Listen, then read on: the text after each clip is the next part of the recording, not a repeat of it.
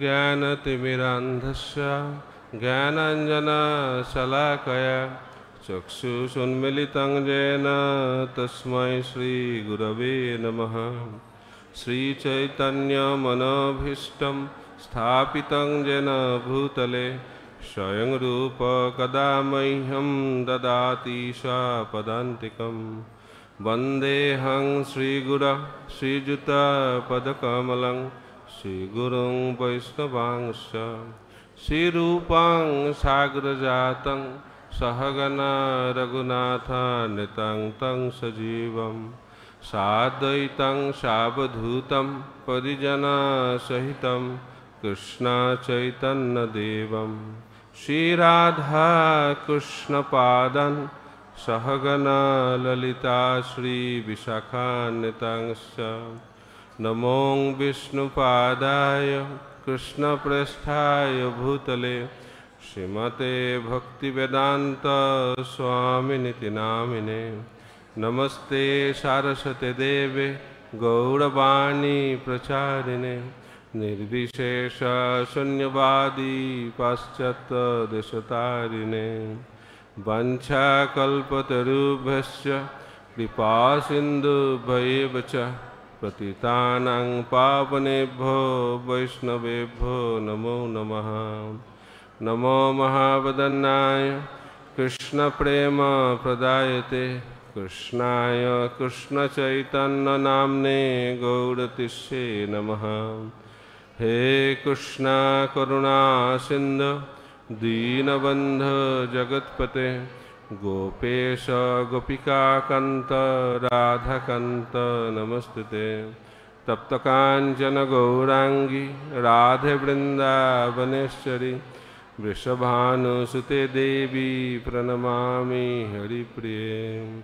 जय श्रीकृष्ण चैतन्य प्रभुनित्यानन्द यद्वैतगदाधर शिवासादि गौरभक्तवृन्द हरे कृष्ण हरे कृष्ण कृष्ण कृष्ण, हरे हरे। हरे राम हरे राम राम राम, हरे हरे। ॐ नमो भगवते वासुदेवाय। ॐ नमो भगवते वासुदेवाय। ॐ नमो भगवते वासुदेवाय। नारायणं नमस्कृत्वा नरं चैव नरोत्तमं देवीं सरस्वतीं व्यासं। ततो जयमुदीरये नष्टप्रायशवदरेषु। नित्यं भागवतसेवया भगवती उत्तमश्लोके भक्तिर्भवती नष्टकी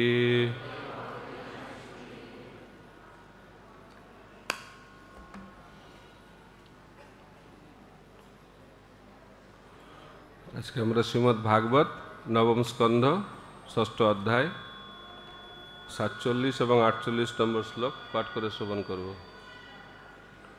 আটচল্লিশ নম্বর শ্লোক বোর্ডে লেখা আছে।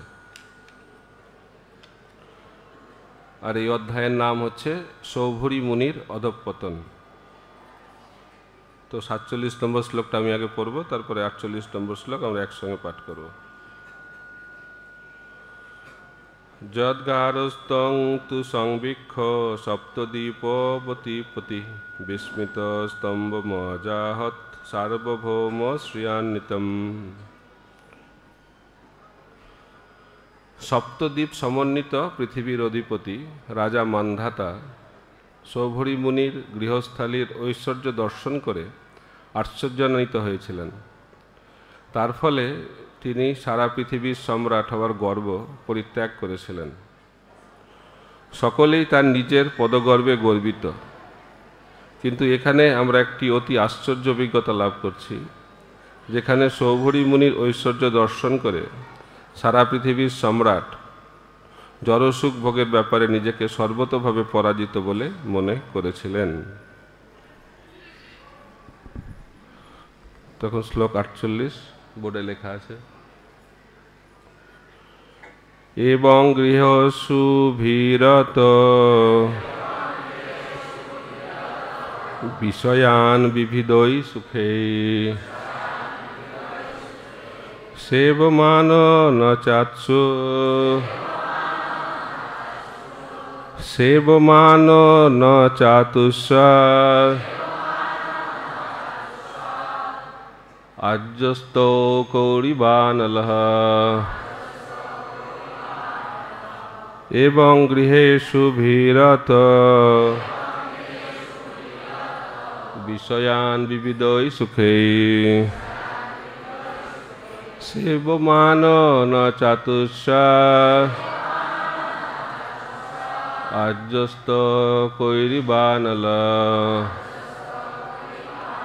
এবং গৃহেষু ভীরত। বিষয়ান বিবিধই সুখে। সেবমান ন চাতুস্বর আর্যস্ত কৈরিবান একজন প্রভু একজন মাতাজি।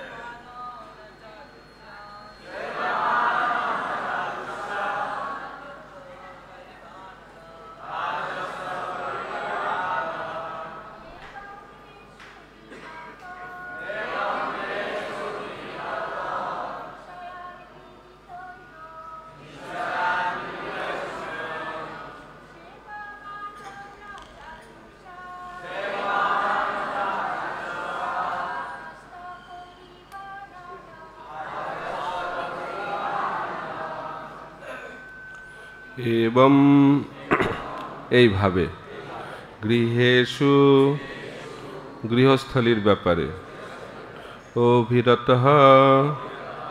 সর্বদা মগ্ন হয়ে বিষয়ান জড় বিষয়ে বিবিধই নানা প্রকার সুখেই সুখ সেবমান উপভোগ করে। ন না। চ, ও। অতুস্বাদ তাকে সন্তুষ্ট করেছিল। আর্যস্তকেই ঘৃতবিন্দুর দ্বারা। ইব সদৃশ, অনলহ অগ্নি। এই শ্লোকের অনুবাদ এবং তাৎপর্য শিলপ্রভুপাতকৃত অনুবাদ। সৌভরী মুনি এইভাবে জড় ইন্দ্রিয় সুখ উপভোগ করেছিলেন, কিন্তু অবিরাম ঘৃতবিন্দুর দ্বারা যেভাবে আগুন কখনো শান্ত হয় না, সৌভরীও তেমনি সন্তুষ্ট হতে পারলেন না। তো আপনারা বলবেন, সৌভরী মুনি এইভাবে জড় ইন্দ্রিয় সুখ উপভোগ করেছিলেন, কিন্তু অবিরাম ঘৃতবিন্দুর দ্বারা যেভাবে আগুন কখনো শান্ত হয় না, সৌভরীয় তেমনি সন্তুষ্ট হতে পারলেন না। তাৎপর্য। জড়বাসনা ঠিক একটি জ্বলন্ত অগ্নির মতো। জ্বলন্ত অগ্নিতে নিরন্তর ঘৃতবিন্দু অর্পণ করা হয়। তাহলে সেই অগ্নি নিরন্তর বর্ধিতই হতে থাকে। এবং তা কখনো নির্বাপিত হয় না। তাই জড়বাসনা চরিতার্থ করার মাধ্যম দিয়ে তৃপ্ত হওয়ার চেষ্টা কখনো সফল হবে না। বর্তমান সভ্যতায় সকলেই অর্থনৈতিক উন্নতি সাধনে মগ্ন, যা ঠিক অগ্নিতে ঘৃতবিন্দু অর্পণ করার মতো। পাশ্চাত্যের দেশগুলিতে জড় সভ্যতা চরম অবস্থা প্রাপ্ত হয়েছে, কিন্তু তা সত্ত্বেও মানুষ অতৃপ্ত। প্রকৃত সন্তোষ রয়েছে কেবল কৃষ্ণ ভাবনামৃতে। সেই কথা ভগবদ্গীতার পঞ্চম অধ্যায়ের উনত্রিশ নম্বর শ্লোকে প্রতিপন্ন হয়েছে, যেখানে শ্রীকৃষ্ণ বলেছেন, ভোক্তারাং যোগ্য তপসাং সর্বলোক মহেশ্বরম, সুহৃদাং সর্বভূতানাম জ্ঞাত্তামাং শান্তি মৃচ্ছতি আমাকে সমস্ত যোগ্য ও তপস্যার পরম উদ্দেশ্যরূপে জেনে এবং সর্বলোকের মহেশ্বর এবং সকলের উপকারী শহীদরূপে জেনে যোগীরা জড়জগতের দুঃখ দুর্দশা থেকে মুক্ত হয়ে শান্তি লাভ করেন। তাই মানুষের কর্তব্য কৃষ্ণ ভক্তির পন্থা অবলম্বনপূর্বক যথাযথভাবে বিধিনিষেধগুলো পালন করে কৃষ্ণ ভক্তিতে উন্নত হওয়া। তাহলে শান্তি এবং জ্ঞানে পূর্ণ নিত্য আনন্দময় জীবন লাভ করা যাবে।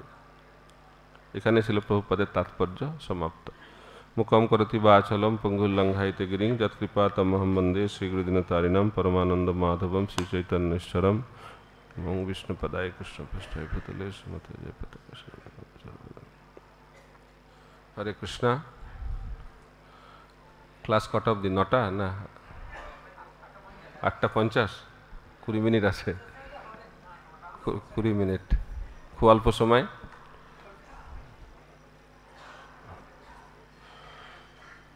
তো এই অধ্যায়ে সৌভরী মুনির অধপতন ব্যাখ্যা করা হয়েছে। আর এই শ্লোকে অধপতিত হওয়ার পরে কি হচ্ছে? সৌভরী মুনি সেটা ব্যাখ্যা করা হচ্ছে তো জড়জগতের লোক ভাববে এটা অধপতন করতে তো ভালো হয়েছে। আগে জলের তলায় ছিল, এখন রাজপ্রাসাদে আছে। রদপতন না উন্নতি? জাগতিক বিচারে উন্নতি হয়েছে। তো এখানে প্রভুপাদ তাৎপর্য ব্যাখ্যা করছেন যে জড়সুখ ভোগ করার মাধ্যম দিয়ে তৃপ্ত হওয়া যায় না। কেন হওয়া যায় না? কারণ বলা হচ্ছে এই জড়সুখ ভোগটা আগুনের মতো। এবং আগুনে যদি ঘি ঢালা হয়, তাহলে আগুনটা কমে না, আগুনটা বাড়ে। কিন্তু এই জগতের বেশিরভাগ মানুষ ভাবে যে ভোগের মাধ্যম দিয়ে ত্যাগ হয়। আর ত্যাগের মাধ্যম দিয়ে ভগবানকে পাওয়া যায়। তো প্রভুপাত ব্যাখ্যা করছেন, শাস্ত্র ব্যাখ্যা করা হচ্ছে ভোগ এবং ত্যাগ দুটোই সমান। কারণ ভোগ করার ফলে যখন ক্লান্ত হয়ে পড়ে তখন ত্যাগের বাসনা জাগে, আর ত্যাগে যখন ক্লান্তি আসে তখন ভোগ বাসনা জাগে। ভোগ, ত্যাগ ভোগ, ত্যাগ চলতে থাকে এভাবে চলছে আমাদের জীবন। তো ভক্তির সঙ্গে ভোগ এবং ত্যাগের কোনো সম্বন্ধ নেই। কারণ আমরা ভোগও করতে পারি না, ত্যাগও করতে পারি না। কারণ সমস্ত কিছুর ভোক্তা হচ্ছেন ভগবান। তা আমি যদি ভোক্তা না হয়, তাহলে আমি ত্যাগ করব কি করে? অনেকে বলে, ও খুব ত্যাগী। অনেক ত্যাগ করেছে। এখন কেউ যদি বলে, রিজার্ভ ব্যাংকে যত টাকা আছে, আমি ত্যাগ করলাম। তো কবে তুমি ওটার মালিক ছিলে যে ত্যাগ করলে? এই জগতে কোনো কিছুর আমরা মালিক নই। এখানে বলা হচ্ছে, প্রভুপাদ ভগবদ্গীতার একটি শ্লোক উদ্ধৃত করে বলছেন যে সমস্ত কিছুর মালিক হচ্ছেন ভগবান। ভক্তারাং যজ্ঞ তপসাং সর্বলোক মহেশ্বরম। তো সেই কারণে আমাদের ত্যাগ করার কিছু নেই। কি ত্যাগ করতে হবে? আমাদের একটা মনোবৃত্তি রয়েছে যে আমি হচ্ছি ভোক্তা, আমি হচ্ছি মালিক। এই যে ভুল ধারণা, এই ভুল ধারণাটাকে পরিত্যাগ করতে হবে। আর কিছু ত্যাগ করার নেই। আর এই ভুল ধারণাটা ত্যাগ কীভাবে হবে? যখন আমরা বুঝতে পারব যে আমরা হচ্ছি ভগবানের দাস। সঠিক জ্ঞান লাভ করলে আমরা ভুল জ্ঞানকে পরিত্যাগ করতে পারব।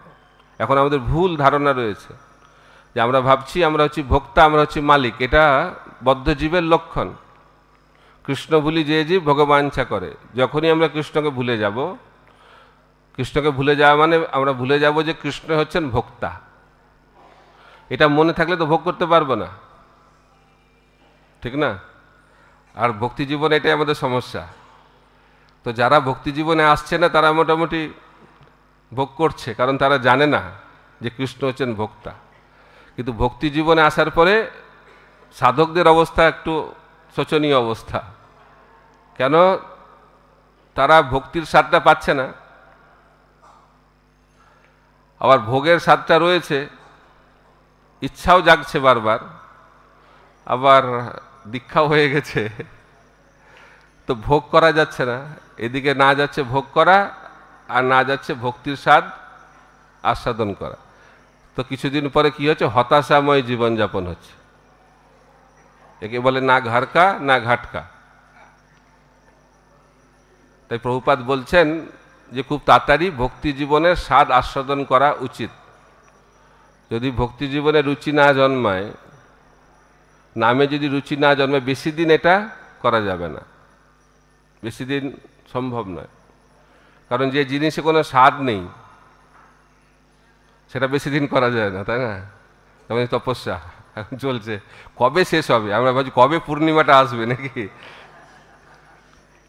তো উপবাসের উদ্দেশ্য হচ্ছে কৃষ্ণ স্মৃতি। অনেকে কৃষ্ণ স্মৃতিতে মগ্ন আছে, আমি জানি। কিন্তু আমাদের মতো যারা বদ্ধ জীব যখন উপবাস শুরু হয়, আমাদের চিন্তা হয় কখন উপবাসটা শেষ হবে। সেই দিকে লক্ষ্য আছে। লক্ষ্য কৃষ্ণে নেই। তো উপবাসের উদ্দেশ্য হচ্ছে যে আমাদের চেতনাটা কৃষ্ণ ভাবনাময় থাকবে, কোনো টাইম নেই। ভগবানের সেবায়, ভগবানের ভজনে, ভগবানের নামে এত আমরা ব্যস্ত যে খাওয়ার সময় নেই। কিন্তু আমাদের তপস্যাটা ঠিক সেরকম না, একটু অন্যরকম তপস্যা। তো প্রভুপাত বলছেন, যদি তপস্যা করে ভগবানের চিন্তা না হয়, খাবার চিন্তা হচ্ছে বারবার, তাহলে একটু খেয়ে নিয়ে কৃষ্ণ চিন্তা করো। কারণ জীবনের উদ্দেশ্য হচ্ছে কৃষ্ণ চিন্তা করা। তো উপবাস যদি কৃষ্ণ চিন্তায় আমাদেরকে সাহায্য করে, সেটা হচ্ছে যথার্থ তপস্যা। তো আমরা তো তপস্যা করছি কিসের জন্য? যাতে আমরা ভগবানকে চিন্তা করতে পারি। তপস্যা কেন করা হয়? যাতে ইন্দ্রিয় চিন্তাটা কমে যায়।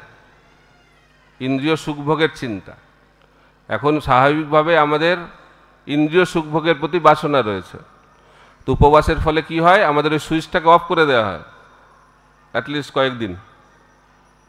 যে কোনো উপবাস, জন্মাষ্টমী হোক, একাদশী হোক, পাণ্ডব নির্জল একাদশী হোক, ভীষ্ম পঞ্চক হোক যে কোনো উপবাস। উপবাস করা খুব গুরুত্বপূর্ণ। আমি একটা আমাদের একটা হেলথের উপর একটা সেমিনার দিচ্ছিল একজন, সেখানে বলছে যে নিয়মিতভাবে উপবাস করা শরীরের জন্য ভালো। এটা আপনাদেরকে বুঝতে হবে। যে প্রত্যেক দিন যদি শস্য দানা যদি শরীরে যায়, সেটা ভালো নয়। এটা মাঝে মাঝে একটু বিশ্রাম দিতে হয়। আমাদের যেমন শরীরের বিশ্রাম লাগে, এটা খাবারেরও বিশ্রাম দিতে হবে মাঝে মাঝে। তাহলে শরীরটা ভালো থাকে। তো এটা সব দিক থেকেই মঙ্গলজনক, কিন্তু আমাদের জীবনের উদ্দেশ্য হচ্ছে আমরা প্রসাদ গ্রহণ করি, উপবাস থাকি, উৎসব করি, ব্রত করি। তার জীবনের একটি উদ্দেশ্য হচ্ছে যে সবসময় যাতে আমি কৃষ্ণ ভাবনাময় থাকতে পারি। সেটাই হচ্ছে শিক্ষা। কিন্তু এই সাধনায় কি বাধা? সৌবরী মুনির যে এই কাহিনী থেকে আমরা বুঝতে পারি যে সৌবরী মুনি কোথায় তপস্যা করছিলেন? জলের নিচে। কঠিন আছে, তাই না? জলের নিচে থাকতেই তো পারব না আমরা আমরা কিছুক্ষণ ডুব দিলেই আবার দম আটকে আসে তো জলের নিচে তপস্যা করছে। আর তারপরেও অধপতন হয়ে গেল। তার দ্বারা কি প্রমাণিত হচ্ছে? যে আমি যতই তপস্যা করি, কিন্তু যদি আমি বৈষ্ণবকে কীভাবে মর্যাদা দিতে হয়, সেটা যদি না শিখি অন্তিম আর কোনো কাজে আসবে না। এটা হচ্ছে শিক্ষা। সৌগরীবনী এত তপস্যা করল, কিন্তু অজান্তে, এটা মানে মানুষ ভাবতেই পারছে না যে কী ধরনের এটা অপরাধ। আমাদের তো অপরাধ অনেক স্থূল। কথায় কথায় অপরাধ হচ্ছে। কত ভক্তকে আমরা কষ্ট দিচ্ছি। বলছে সব থেকে বড় পাপ কি? কোনো জীবকে কষ্ট দেওয়া। জানতে, অজান্তে কোনো জীবকে কষ্ট দেওয়া হচ্ছে সব থেকে বড় পাপ এবং অপরাধ। তার মধ্যে কত হচ্ছে? আর সৌভরী বুনি তো মাছটাকে বাঁচাতে চেষ্টা করল। কিন্তু তার সত্ত্বেও তার অপরাধ হয়ে গেল, যেহেতু গরুর দেব হচ্ছে অত্যন্ত উন্নত বৈষ্ণব। উন্নত বৈষ্ণবের চরণে অপরাধ হলে ফলটা খুব তাড়াতাড়ি হয়। যেন খুব সাবধান থাকা দরকার। আর কে যে উন্নত, কে যে অনুন্নত আমরা তো জানি না। একটা ভক্তের স্থিতি কোথায় আছে আমি কী করে বুঝব?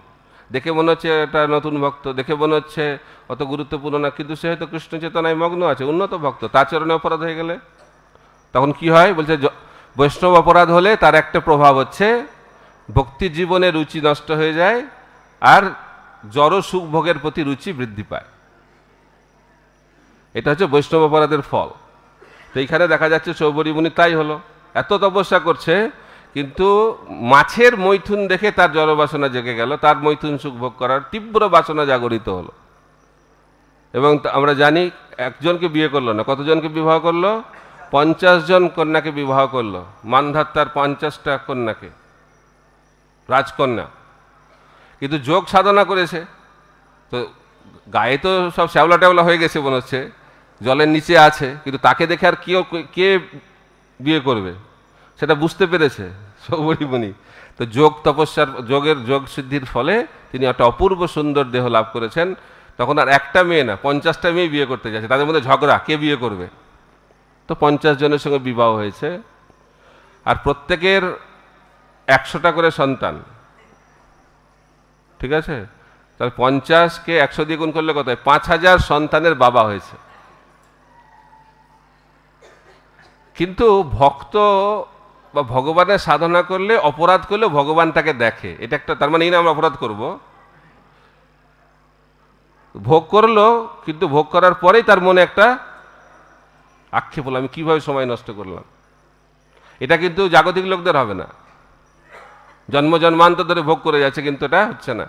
কিন্তু সৌভরী মুনি অধপতন হলেও, এই জন্য বলেছে নেহা বিক্রম নাথ অস্তি প্রত্যবয়ন বিদ্যতে, স্বল্পমপেশ ধর্মস্ব প্রায়তে মহত বিপদ বারবার ভগবান দেখাচ্ছেন যে ভক্তি করলে সেই ভক্তির কখনো বিনাশ হবে না। আপাত ফল ডাউন হয়ে গেলেও, আপাত পতন হলেও সে আবার ফিরে আসবে। আর কীভাবে ফিরে এলো? খালি একা উদ্ধার পেল না। তো বানপ্রস্থ আশ্রম গ্রহণ করল, বনে গিয়ে তীব্র তপস্যা শুরু করল, এবার আর কোনো ভয় থাকল না। তো দেহ ত্যাগ করে ভগবত ধামে চলে গেলেন। এবং এই অধ্যায়ের শেষে বলা হচ্ছে, খালি সৌভরী মুনি ভগবত ধামে গেলেন না, ওনার পঞ্চাশটা পত্নী, তারাও ভগবত ধামে চলে গেলেন। তো এটা কত বড় একটা ব্যাপার। কিন্তু অনেক সময় নষ্ট হলো। তাই আচার্যরা ব্যাখ্যা করছেন, বৈষ্ণব অপরাধ করে এই ভক্তি জীবন থেকে, বিরত থেকে সময় নষ্ট করার কি দরকার আছে? তার থেকে সাবধানতা অবলম্বন করাই গুরুত্বপূর্ণ। জয় শ্রী শ্রী রাধা মাধব কি পঞ্চতত্ত্ব ভগবান কি নৃসিংহদেব প্রহ্লাদ মহারাজ কি তার দশ মিনিট আছে একটু দামোদর লীলা বলি আমি তো মায়াপুরে ছিলাম না কি আলোচনা হয়েছে জানি না কিন্তু একটু নতুন জিনিস একটু বলব কলকাতাতেও বললাম তাড়াতাড়ি বলার চেষ্টা করছি। তো এই দামোদর লীলার একটি মহান বৈশিষ্ট্য হচ্ছে এই লীলাটা কেন বিশেষ গুরুত্বপূর্ণ? কারণ এই লীলাতে ভগবান শ্রীকৃষ্ণ পাঁচটি রসই আস্বাদন করছেন। মুখ্য যদিও বাৎসল্য রস, কিন্তু এই লীলাতে ভগবান কৃষ্ণ যে পাঁচটি রস রয়েছে সে পাঁচটি রসকেই আস্বাদন করছেন। শান্তরস দাস্যরস সক্ষরস বাৎসল্য রস এবং মধুর রস। তো কারা কারা এই রস আস্বাদনে সহায়তা করছেন ভগবানকে। শান্তরসে অনেকে আছেন। শান্তরসে আছেন দড়ি, রজ্জু,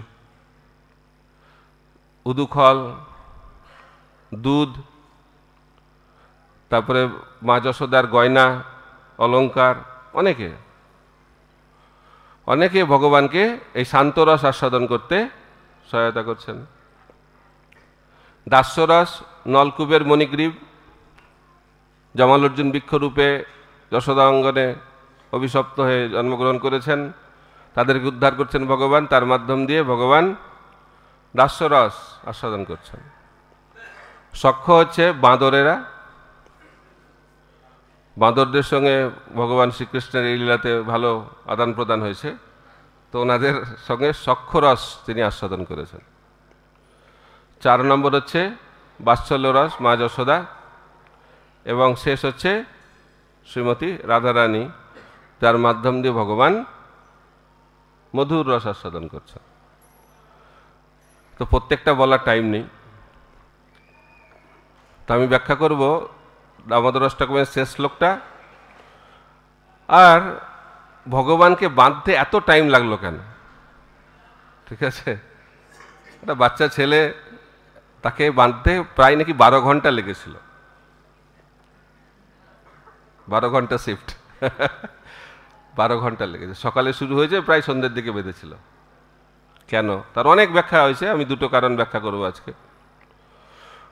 তো শেষ শ্লোকে বলা হচ্ছে যে চারটে, চারজনকে আরাধনা করছে সত্যব্রত মুনি। নমস্তেস্তু দামনে, স্ফুরদীপ্তি দামনে, তদীয় দরায়ত বিশ্বস্ত ধামনে নমরাধিকা ওই তদীয় প্রিয়া ওই নমন্ত লীলায় দেবায় তুভ্যম। তো এখানে ফার্স্টে আরাধনা করা হচ্ছে রজ্জু, অর্থাৎ যে দড়ি দিয়ে ভগবানকে বাঁধা হয়েছিল, সেই দড়িকে আরাধনা করা হচ্ছে। ভগবানের উদর আর পেটকে আরাধনা করা হচ্ছে। তারপরে শ্রীমতী রাধারানীকে আরাধনা আরাধনা করা হচ্ছে এবং ভগবানের অনন্ত লীলা তাকে আরাধনা করা হচ্ছে। এই চারটে জিনিস একে অপরের সঙ্গে যুক্ত আছে। দড়ির সঙ্গে কার যোগ? দড়ির সঙ্গে হচ্ছে শ্রীমতী রাধারানীর যোগ। আর উদরের সঙ্গে অনন্ত লীলার যোগসূত্র রয়েছে। তো যখন মা যশোদা কৃষ্ণকে বাঁধার চেষ্টা করছে, তো ভগবানের দুই রকম শক্তি আছে। মুখ্যত এখানে ব্যাখ্যা করা হচ্ছে, একটা হচ্ছে ঐশ্বর্য, ঐশ্বর্যময় শক্তি আর একটা হচ্ছে করুণা শক্তি। দু রকম শক্তি। আর ঐশ্বর্যময় শক্তির পনেরোটা ভাগ পনেরো রকমের ঐশ্বর্যময় শক্তি, আচার্যরা পনেরোটা শক্তির নাম বলছেন। তো তাদের সঙ্গে তর্ক বিতর্ক হচ্ছে, দুটো দল, এক দলে হচ্ছে কৃপা শক্তি আর আরেক দলে পনেরো জন, ঠিক আছে? মানে কম্পিটিশনটা খুব শক্ত। এটা কেউ দেখতে পাচ্ছে না, মা যশোদাও দেখতে পাচ্ছে না, কেউ দেখতে পাচ্ছে না, কিন্তু কৃষ্ণ দেখছে। আর কৃষ্ণ তো ভক্তবৎসল, ভাবছে যে এত ঝগড়া হচ্ছে, এর মধ্যে সিদ্ধান্ত, ভোট ভোটিং হয়নি। তো ভোটিংয়ে যা সিদ্ধান্ত হবে সেটাই করবে কৃষ্ণ বাঁধা পড়বে কি পড়বে না? তো কৃপাশক্তি পনেরো জন যে তার বিপরীত পক্ষে ছিল, তাদেরকে বোঝাতে অনেক টাইম লেগেছিল।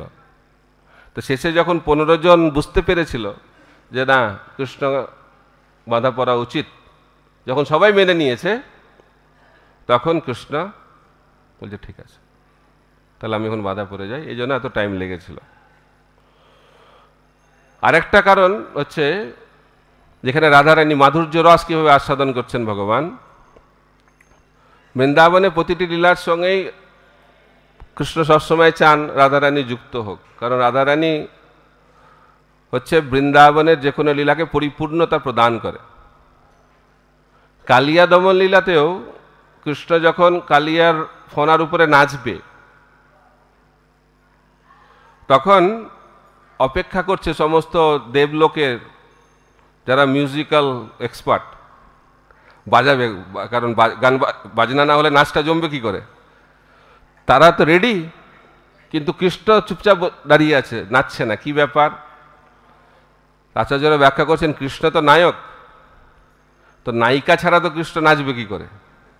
একা একা তো নাচাতে মজা আসবে না। তো অপেক্ষা করছে যে মুখ্য নায়িকা কখন এসে পৌঁছাবে। তো যখনই রাধারানী যমুনার তীরে এসে উপস্থিত, সঙ্গে সঙ্গে কৃষ্ণের নাচ শুরু হয়েছে। এইখানেও ভগবান দেখাচ্ছেন যে রাধারানীর মহিমা। তো দড়ি দিয়ে বাঁধছে, তো কত দড়ি? অনেক দড়ি। নবলক্ষ গাভী হচ্ছে খালি নন্দ মহারাজের, তার সঙ্গে আবার অনেক বাছুরও আছে, অসংখ্য বাছুর বলছে। অসংখ্য মানে হচ্ছে একের পরে সতেরোটা শূন্য দিলে যা হয়, ততগুলো বাছুর। ঠিক আছে? তারপরে বলছে, নন্দ মহারাজের গৃহে যত গাভী থাকে, তার ডবল হচ্ছে বৃষভনু মহারাজের গাভী। আর অন্য গোপদের তো রয়েছেই। আর তো সবাই সাহায্য করছে, মা যশোদাকে দড়ি দিয়ে, কত দড়ি হবে? সারা দিন ধরে দড়ি এসেই যাচ্ছে, কিন্তু বাঁধা আর পড়ছে না। কেন? কারণ এখানেও ভগবান অপেক্ষা করছেন কার জন্য? মুখ্য নায়িকার জন্য। তো যখনই রাধারানী এসে উপস্থিত হয়েছে, তখন রাধারানীকে ইঙ্গিত করছেন ভগবান কৃষ্ণ যে, এত দড়ি, এই দড়ি দিয়ে আমার বাঁচতে ভালো লাগছে না। এগুলো ভালো দড়ি না। ঠিক আছে?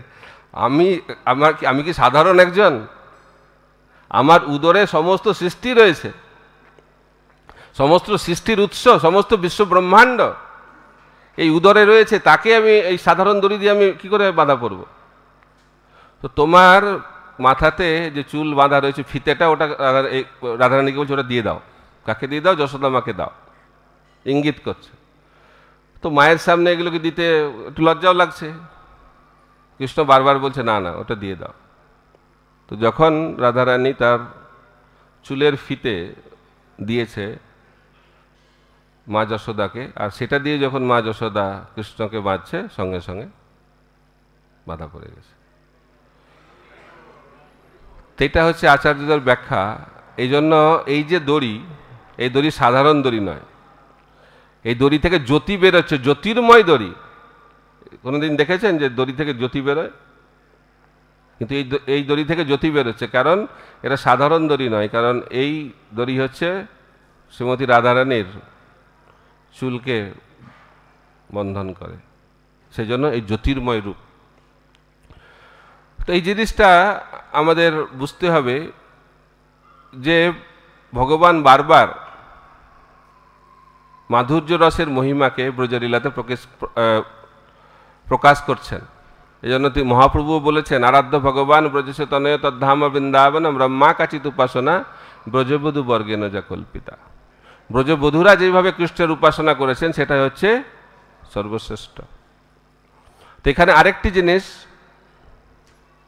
এই লীলাতে রয়েছে, যেখানে ভগবান তার ভগবত্তা, জীবগোস্বামী এবং আচার্যরা ব্যাখ্যা করছেন, ভগবানের যে সমস্ত গুণ থাকা দরকার, সেই সমস্ত গুণকে তিনি পরিত্যাগ করছেন একটি প্রধান গুণকে স্থাপন করার জন্য ভক্তবৎসতা।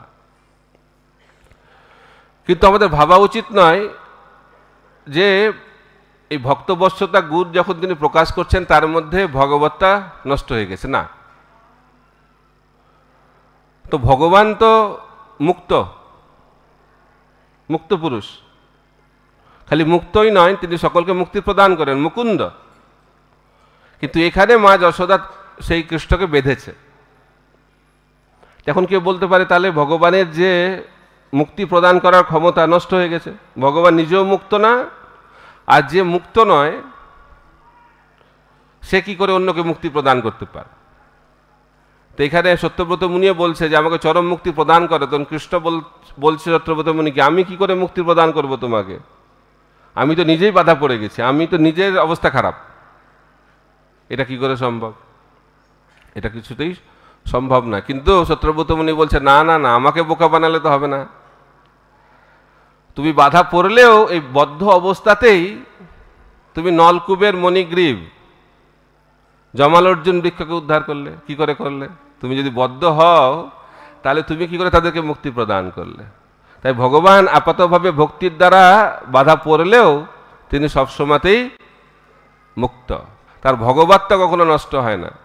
সেটা প্রেমের দ্বারা আচ্ছাদিত হয়ে গেলেও তার মধ্যে এই মুক্তি প্রদান করার ক্ষমতা সবসময়তেই রয়েছে। এই লীলার মাধ্যম দিয়ে, নলকূপের মণিককে উদ্ধার করার মাধ্যম দিয়ে ভগবান কৃষ্ণ এই জিনিসটা আমাদের কাছে প্রকাশ করছেন।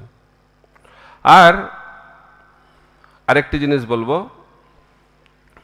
যে শান্তরসের ভক্তরাও কত সুন্দরভাবে ভগবানকে প্রেম করছেন। এই লীলার মাধ্যম দিয়ে ভগবান দেখাচ্ছেন যে আমাদের মতো জীব, আমাদের একটি জীবনের উদ্দেশ্য থাকা দরকার, কীভাবে ভগবানকে আমরা ভালোবাসব। আর ভগবানের প্রতি প্রেম জাগরিত হলে জীবনটা সার্থক। এটাকে বলে কৃষ্ণ ভাবনামৃত। কৃষ্ণ ভাবনামৃত মানে হচ্ছে কৃষ্ণকে ভালোবাসার শিক্ষা। কৃষ্ণকে কি করে ভালোবাসতে হয়? তো মা যশোদা মাধ্যম দিয়ে কৃষ্ণ এখানে দেখাচ্ছেন কীভাবে কৃষ্ণকে ভালোবাসতে হয়। তো শান্তরসের ভক্তরাও চিন্ময় জগতে চেতন। তাদের কত আনন্দ ভগবানকে সেবা করার জন্য। তো বলা হচ্ছে যখন মা যশোদা যখন মাখন তৈরি করছে, তখন মা যশোদার স্তন থেকে অবিরত ধারায় দুগ্ধ খরিত হচ্ছে। কেন? তার কারণ মা যশোদা স্তনদুগ্ধ ভাবছে, আজকে তো মা যশোদা সুন্দরভাবে মাখন তৈরি করছে। তো কৃষ্ণ তো সেই মাখন খেয়ে পেটটা ভরে যাবে আমার তাহলে আমাদের তো আর পান করবে না। তাহলে আমাদের এই জীবনের কি মূল্য আছে? বৃথা এই জীবন। সে কারণে অবিরত ধারায় প্রবাহিত হচ্ছে, দুঃখে। আবার আরেক ধরনের দুধ আছে, যে দুধকে মা যশোদা গরম করছিল। যে দুধ হচ্ছে স্পেশাল দুধ, সুগন্ধ, সর্বশ্রেষ্ঠ দুধ। সেই দুধটাকে যখন গরম করছে, তখন কৃষ্ণ মা যশোদার স্তন দুগ্ধ পান করছে। তাই তো? তখন যে দুধটা গরম হচ্ছে, ভাবছে যে আমি আর এত তপস্যা করে কী লাভ? আমি তো আমাকে গরম করছে মানে আবার তপস্যা হচ্ছে তো, আমার কষ্ট হচ্ছে। তা আমরা এত তপস্যা করছি কারণ ভগবানের সেবায় লাগার জন্য। তা আমরা এত কষ্ট করছি, তপস্যা করছি, আগুনের উপর পুড়ে মরছি। তা আমাদের এই জীবনের কী লাভ যদি ভগবানের সেবায় যদি না লাগি? কারণ এখন তো ভগবান কৃষ্ণ মা যশোদা স্তনদুগ্ধ পান করে আনন্দ পাচ্ছে এবং তাতেই পেটটা ভরে যাবে। তাহলে আমাকে তো আর পান করবে না। তাহলে এই এই জীবনটা রেখে কী লাভ? এই আগুনে পুড়ে আত্মহত্যা করাটাই ভালো। এই এই ধরনের মনোভাব। আর মা যশোদা যখন দধি মন্থন করছেন, এটা খুব গুরুত্বপূর্ণ আমাদের শেখার জন্য যে কীভাবে কৃষ্ণ সেবা করতে হয়। কায় মনো বাক্যে। তো মা যশোদা নিজে সেবা করছে রাজরানী হওয়া সত্ত্বেও নিজে মাখন নিজে মাখন কি করছে? মন্থন করছে। তাই ভগবানের সেবা নিজে করতে হয় রাজরানী হয়ে গেল সেটা দেখাচ্ছেন মা যশোদা, সেবা করছেন। তো যখন সেবা করছে, তখন মা যশোদা শরীর দিয়ে, হাত দিয়ে এবং ওটা শরীর দিয়ে দধিমন্থন হচ্ছে, দেহ। মনে ভগবানের চিন্তা করছে, ভগবানের লীলা স্মরণ হচ্ছে, আর মুখ দিয়ে ভগবানের নাম, গুণ, লীলা, কীর্তন হচ্ছে।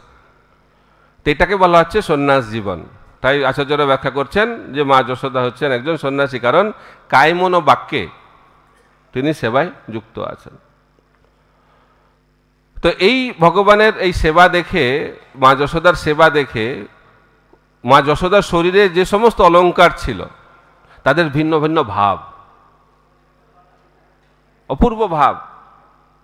তো মালতী ফুল খুলে খুলে পড়ছে, বলছে, এত মহান ভক্ত, তার মাথায় আমি কি করে থাকব? আমি চরণে থাকা দরকার। তারপরে যে সমস্ত অলংকার পরে আছে, তাদের এত আনন্দ হচ্ছে যে তারা আওয়াজ করছে। কীরকম আওয়াজ করছে? মৃদঙ্গ করতালের আওয়াজ করছে। তাই আমাদের গান করতে গেলে মৃদঙ্গ করতাল প্লেয়ার লাগে। কিন্তু মা যশোদা যখন কীর্তন করে, তখন মৃদাঙ্গ করতাল প্লেয়ার দরকার হয় না। কারণ তার শরীরেই মৃদাঙ্গ করতাল প্লেয়ার রয়েছে। এটা হচ্ছে ভগবানের শুদ্ধ ভক্তের বৈশিষ্ট্য। এবং তারা এই আনন্দে আচার্যরা ব্যাখ্যা করছেন, এত সুন্দরভাবে যখন মা যশোদা ভগবানের নাম, রূপ, গুণ, লীলা কীর্তন করছে, সুন্দরভাবে অন্যান্য যে অলঙ্কার রয়েছে মা যশোদার শরীরে, তারা মা যশোদাকে সহায়তা করছে। আর এটা হচ্ছে ব্রজের ভাব। যারা শ্রেষ্ঠ তাদেরকে সহায়তা করা। এটা হচ্ছে ব্রজের ভাব।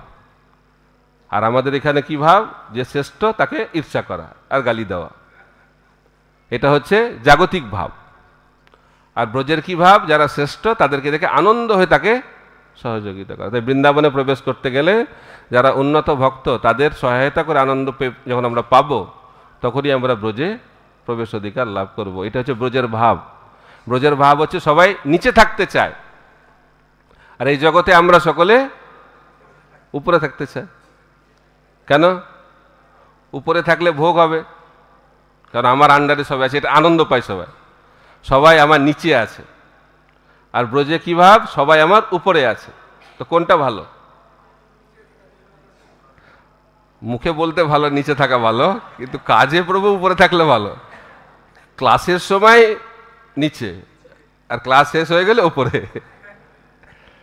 এটা হচ্ছে বদ্ধজীবের লক্ষণ এটাতে দুঃখ পাওয়ার কোনো কারণ নাই, কারণ এই জগতে আমরা এই জন্যই এসেছি। বদ্ধজীবের এটা লক্ষণ। কিন্তু আমাদের একটু বুদ্ধিমান হতে হবে। ভক্তি হওয়ার আগে একটু বুদ্ধিমান। কৃষ্ণ যে ভজে সে বড় চতুর। তো বলছে, যে ওপরে থাকে, সে কোন দিকে তাকায়? সবাই তো নিচে নিচে তাকায়। তো নিচে তাকালে গতি কোন দিকে হবে? নিম্ন গতি হবে। আর যে নিচে আছে, সে কোন দিকে তাকাবে? উপরে তাকাবে, তার কি গতি হবে? তো আপনারা কোন গতি চান, নিম্ন গতি না ঊর্ধ্ব গতি? তো যদি ঊর্ধ্বে যেতে চান, বৃন্দাবনে যেতে চান, তাহলে নিচে থাকতে হবে। আর যদি পাতাল লোকে, নরক লোকে যেতে চান, তাহলে উপরে থাকবেন। তো ভগবান দুটোরই সুযোগ দিয়েছে। এখন উপরে থাকো, পরে নিচে যাও। আর এখন নিচে থাকো, উপরে পরে যাও। কোনটা দরকার? প্রভু, দুটো হলেই ভালো হয়। দুটো তো হবে না। পৌপাত বলছেন যে, দুধও খাব, তামাকও খাব, সেটা তো হবে না। একটা চয়েস করতে হবে। জীবনটা হচ্ছে একটা চয়েস তা আমরা যদি বৃন্দাবনে যেতে চাই, তাহলে নিচে থাকতে শিখতে হবে। এটা হচ্ছে তপস্যা। এটা হচ্ছে আসল তপস্যা। যে আমি এত কিছু করছি, এখন কি আমি অন্যকে সম্মান দিতে চাই, না নিজে সম্মান চাই? মনে মনে যখন যারা তপস্যা করে না, একটা দুটো বাসনা জাগে। একটা বাসনা, ও, দেখছ আমি কত তপস্যা করছি, সবাই আমাকে বলবে দেখে কত তপস্বী পুরুষ, একটা আনন্দ লাগে শুনে। এই বাসনা থাকলে তপস্যার ফলটা গেল সব। তো তপস্যা আমরা কেন করছি? যাতে আমরা অন্যকে সম্মান দিতে শিখি। আর আরও কত আমি নিচে যেতে পারি, তাহলে তপস্যাটার ফল আমরা পেলাম। আর যদি সেটা না হয়, তাহলে কি হবে? তপস্যা করলে একটা বাসনা জাগে, আরেকটা কি বাসনা জাগে? নিজেকে বড় আর অন্যকে ছোট। কিন্তু আমাদের উল্টোটা হতে হবে। নিজেদেরকে ছোট আর অন্যকে বড়। এটা এটা আমি কি করে ভক্তি জীবনে অগ্রগতি করছি বুঝব? যে আমার মনের বাসনাটা কি? আমি সম্মান পেতে চাই না সম্মান দিতে চাই? যদি সম্মান পাওয়ার বাসনা বাড়ে, তাহলে ভক্তি জীবনে আমার অগ্রগতি হচ্ছে না, নিচে নামছি। আর যদি অন্যকে সম্মান দিতে ইচ্ছা হয়, তাহলে বুঝতে হবে আমরা ভক্তি জীবনে অগ্রগতি লাভ করছি। তো ভগবান শ্রীকৃষ্ণ এই দামোদর লীলার মাধ্যম দিয়ে আমাদেরকে শিক্ষা দিচ্ছে, কি করে অন্যকে সম্মান করে তাকে ভক্তিমূলক সেবাতে সহায়তা করতে হয়। এবং সেটা করলেই আমরা ভগবানের কাছে ফিরে যেতে পারব। হরে কৃষ্ণ হরে কৃষ্ণ কৃষ্ণ কৃষ্ণ হরে হরে হরে রাম হরে রাম রাম রাম হরে হরে গ্রন্থরাজ শ্রীমদ ভাগবতম কি সমবেত গৌর ভক্তবৃন্দ কি নিতায় গৌর প্রেমানন্দে হরি হরি বল